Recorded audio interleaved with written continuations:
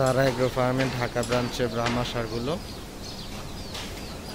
সাথে আছে বিশাল সাইজের একটি বলদ।